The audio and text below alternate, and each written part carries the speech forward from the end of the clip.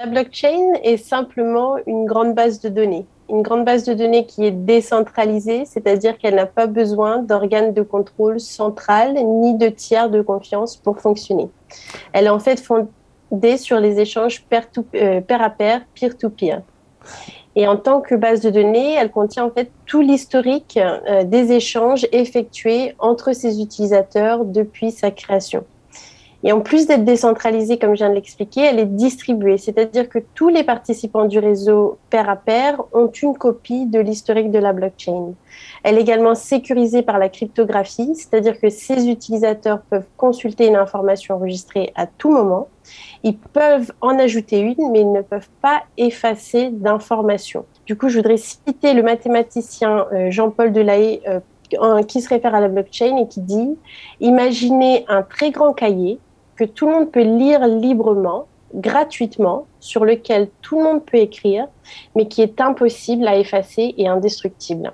Alors, euh, on l'a dit un peu plus tôt, euh, la blockchain, il y a des applications dans la traçabilité des produits. Est-ce que c'est une garantie d'une euh, traçabilité transparente? Alors oui, grâce à la nature même de la technologie. En fin de compte, la blockchain est transparente car tous les échanges effectués entre ces utilisateurs depuis la création même de la blockchain sont inscrits et tout le monde peut les consulter. Il n'y a aucune autorité centrale qui détient les informations et des copies de la blockchain qui sont distribuées à tous les participants du réseau. Le risque en fait qu'un original ne soit perdu ou piraté est vraiment moindre, ce qui renforce ce principe de traçabilité et de transparence. Alors quels sont les, principaux problèmes que peuvent poser cette technologie? Alors, quatre, petits points là-dessus. Le premier, c'est que, comme on a souvent entendu parler, la consommation excessive d'énergie, euh, qui sont liées à certaines blockchains, notamment la blockchain Léo Bitcoin, qui consomme énormément d'énergie et ce n'est pas durable. Euh, cela dit, il y a d'autres types de blockchains qui sont en développement, qui utilisent différents mécanismes pour enregistrer ces données et qui consomment bien moins d'énergie.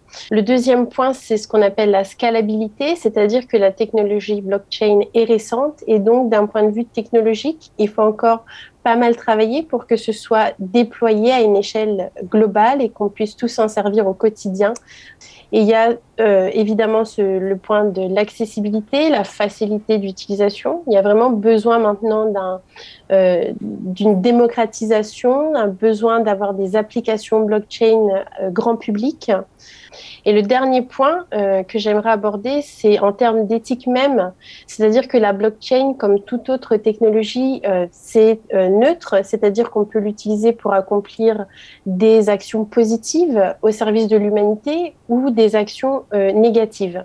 Et donc, on doit s'assurer tous, de, de près ou de loin, que la puissance de ces nouveaux outils euh, informatiques soit développée afin de redonner le pouvoir au peuple et d'apporter la transparence nécessaire euh, sur euh, certains procédés qu'on a dans le monde.